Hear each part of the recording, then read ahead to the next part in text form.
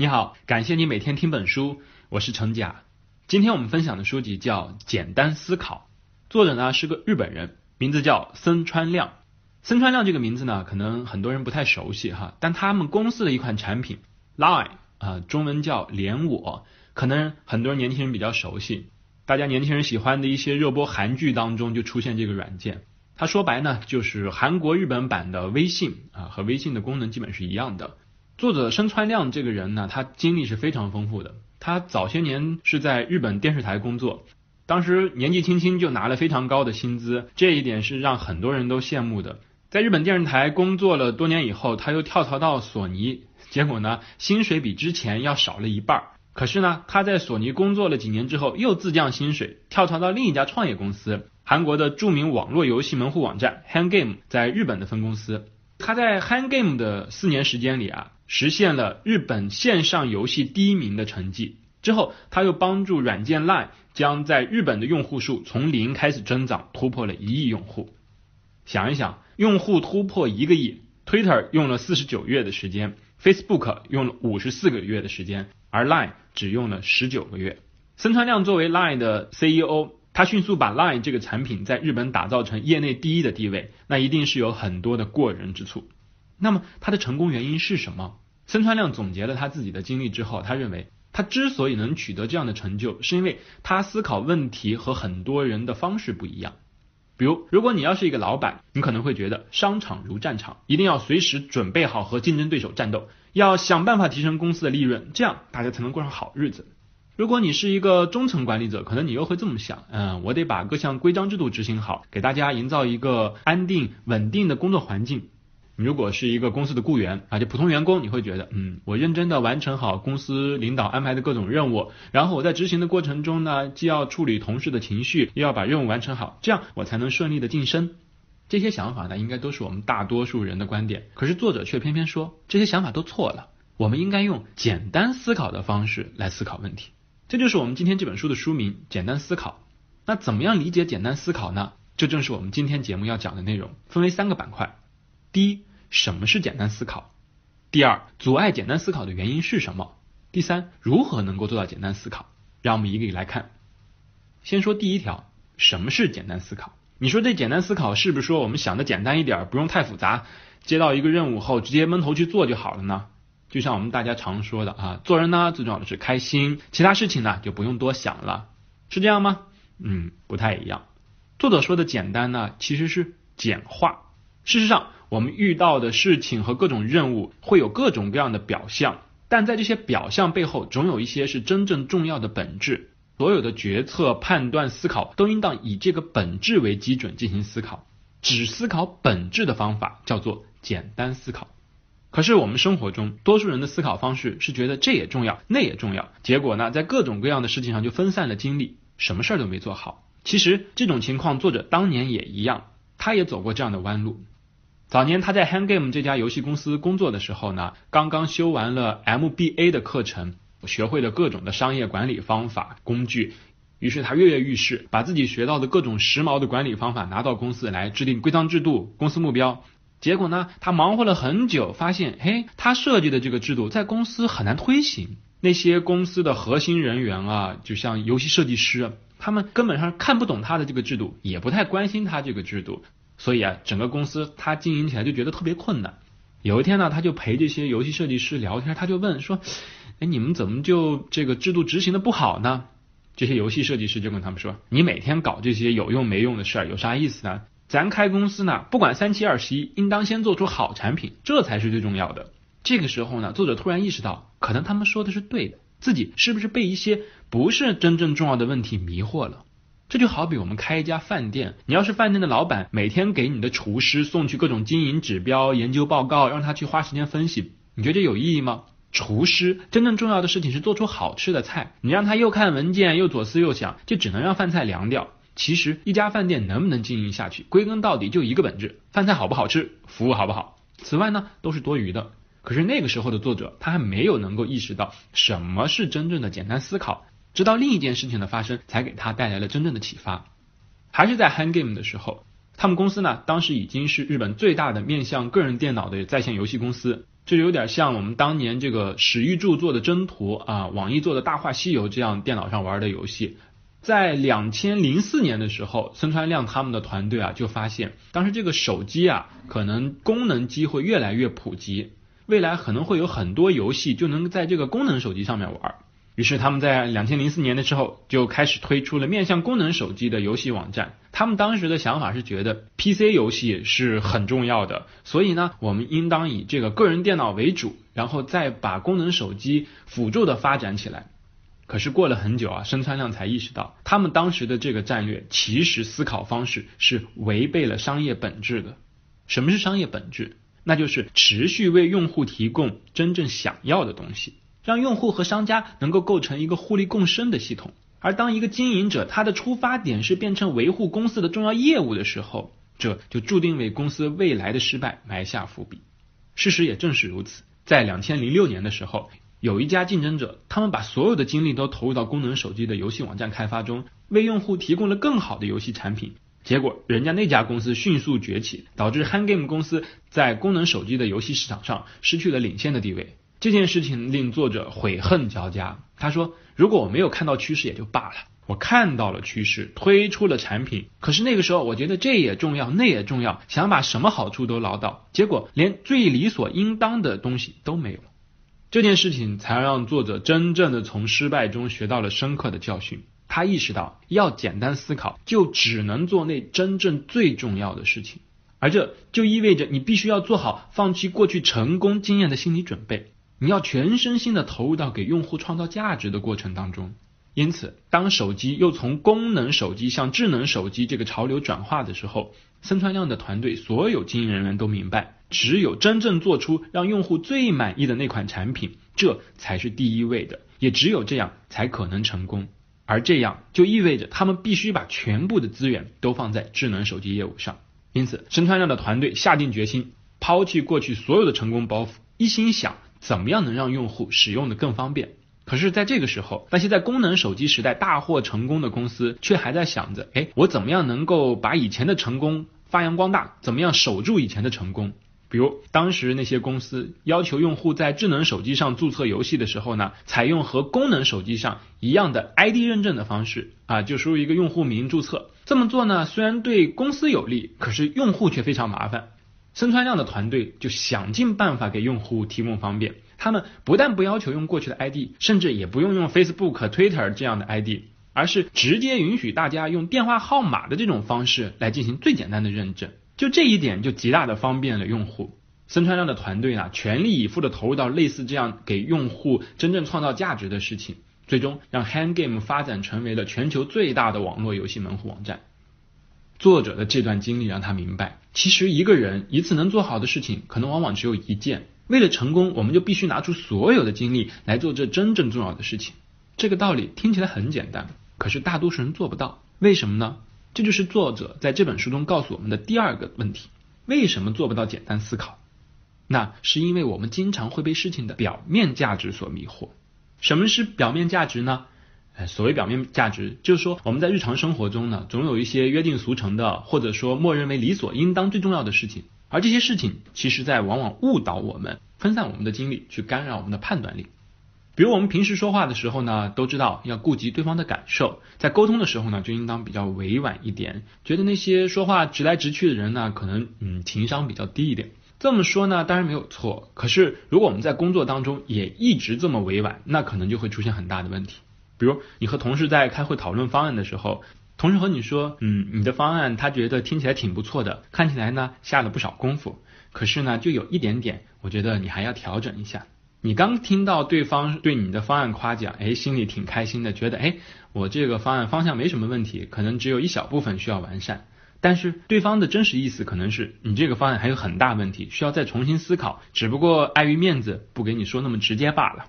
再比如，有很多领导在指导下属的时候呢，他就觉得对方做的不是很好，可是呢，也不太好意思当面提出，所以就经常用赞美啊、鼓励的方法跟他们沟通，希望他们能够发现问题。可是越是这样，越让员工觉得，哎，我其实做的挺好的。沟通完了以后，员工也没有发现自己的问题，而领导呢，也没有把自己的要求明确的提出。所以作者说，这个时候我们与其顾虑重重，不如坦率的说出自己的想法。为什么？因为沟通最重要的价值是让对方明白自己想要传递的意思是什么，传达的信息传递过去了，才是真正有效的沟通。虽然有时候可能会不好听，但是大家至少不会抱着误解去工作。而我们如果考虑表面价值，觉得既要顾及同事关系，又要照顾同事情绪，反而会让我们在不知不觉中偏离目标，而这对一个公司来说是有极大的损伤的。这些可能都是一些小的事情会被表面价值迷惑，但其实我们很多重大的决策，甚至我们很多人都在使用的流程和方法都可能有问题。比如作者说，很多大公司都有一套非常复杂的人事评估系统，有时候这个评估的项目可能就有几十个，每一级呢又分了不同的等级，在具体执行的时候，就员工先给自己打分，再请领导打分，还请同事打分，然后最后再算一个总分。这个总分算出来以后，领导拿着这个成绩再去找员工面谈，谈的时候呢，还要考虑不要影响员工的情绪，要有沟通的技巧，给出温和的反馈。整个这个过程操作下来，可能就花了一两个月的时间。这么做呢，真是又耗时间又耗精力。可是大家都习以为常了，评估不就是这样吗？人事评估本来就是要耗费这些时间和精力的呀，大家都没有觉得有问题。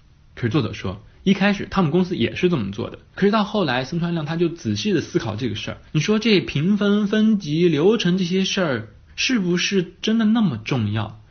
它是不是可能只是表面价值？真正应该思考的是不是评估的目的究竟是什么？很明显，评估不是为了打分，评估是为了传递真实的情况，让每一位员工都知道自己和预期目标之间的差距，从而激励他更快的成长。想明白这件事儿以后啊，作者就给他们 Line 公司制定了一个全新的人事评估标准。评估的标准呢只有一个，那就是这个人是不是公司有他没他一个样。这个标准非常简单，员工也非常好理解。只要大家在评估一个同事是不是公司有他没他一个样就 OK 了。假如公司有一名员工被大家评为有他没他一个样这个称号，好了，那他就必须想办法改进自己的工作方式，否则请你走人。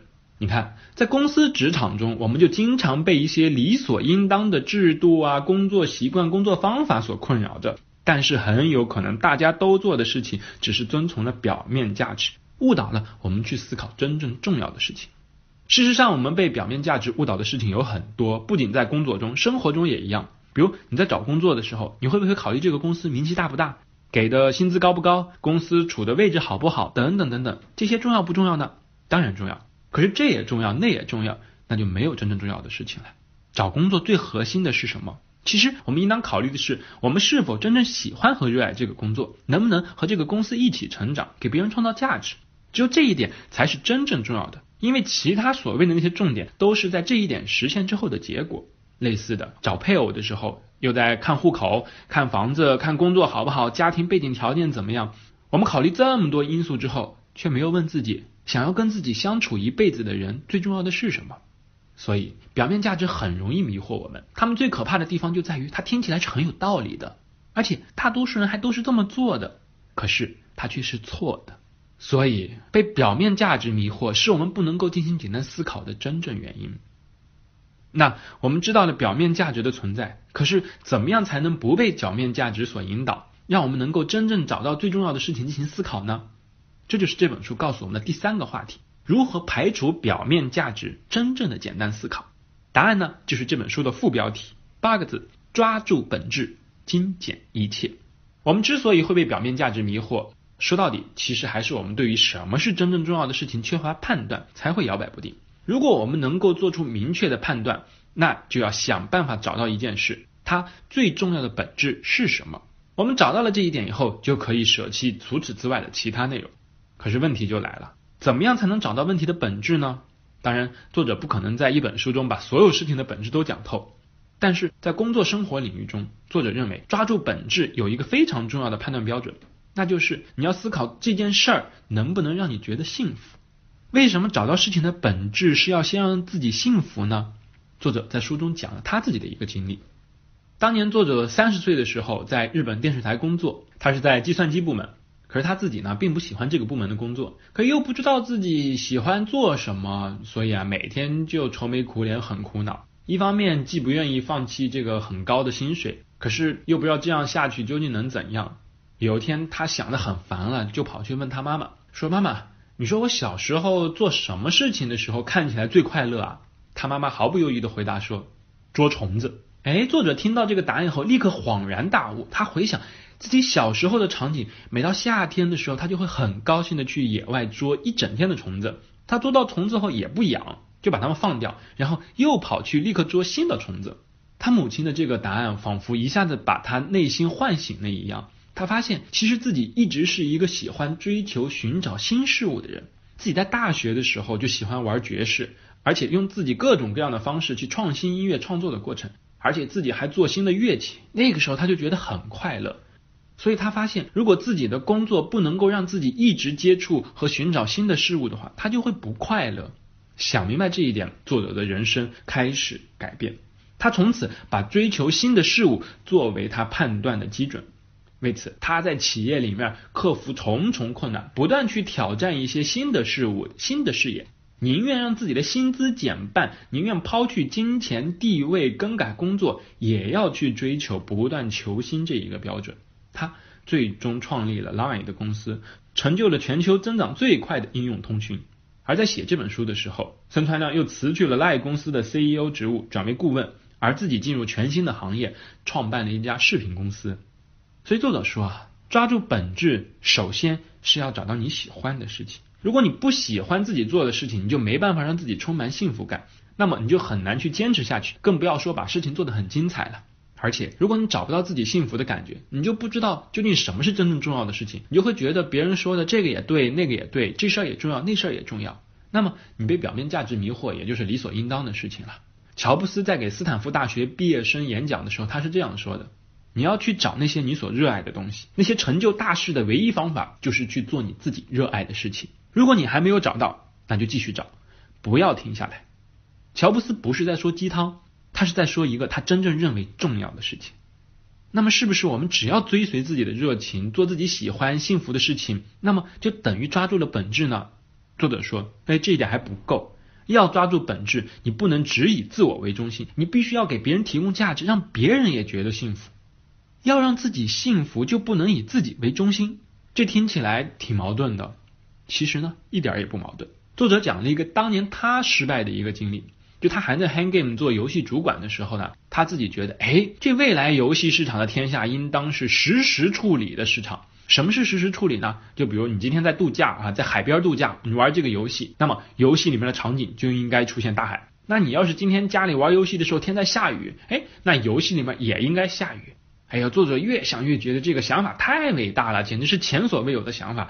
如果实现这个想法，那就是改变世界呀！他特别兴奋。可是这个想法呢，被全公司的人强烈反对。但是作者就觉得太重要了，太重要了，所以他强行要开发这个游戏。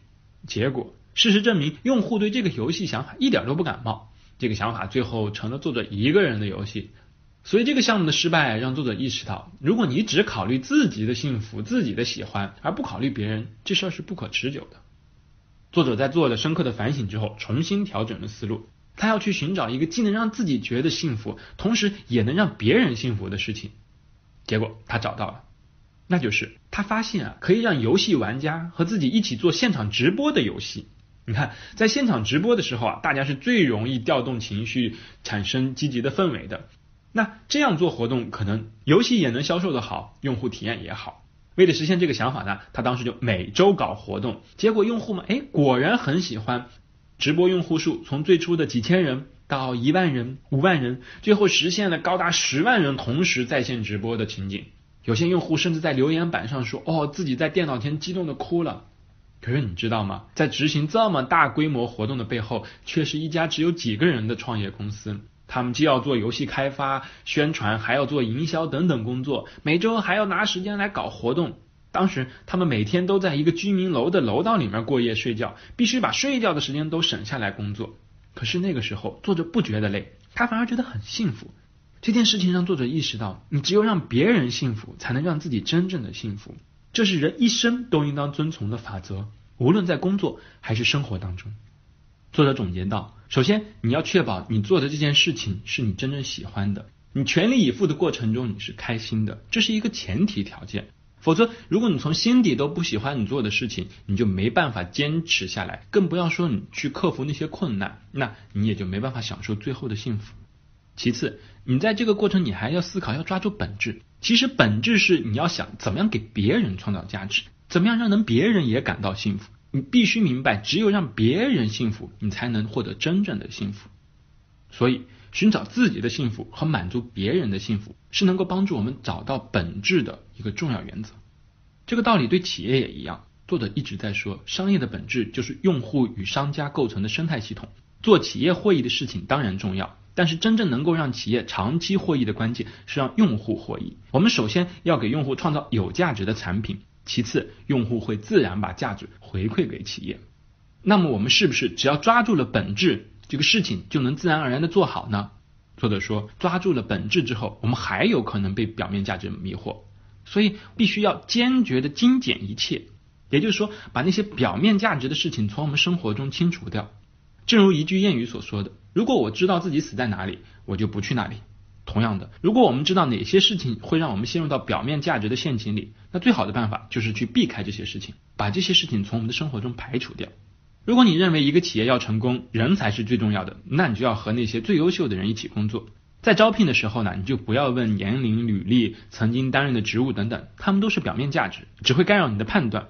你需要看的就是这个人是不是真正具备回应用户需求的热情和能力就可以了。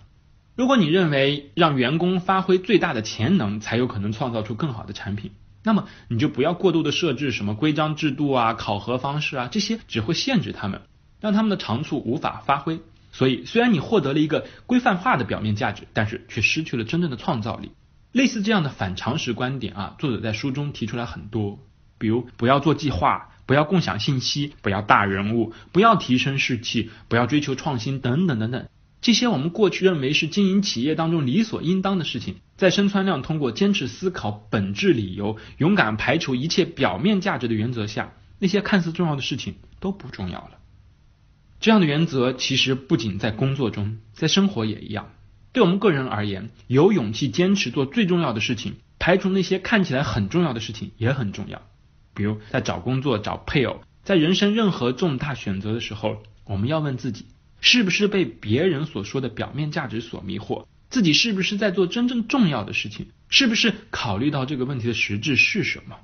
只有去思考那些真正重要的事情，才不会被这也重要那也重要的各种事情所迷惑。抓住本质，精简一切。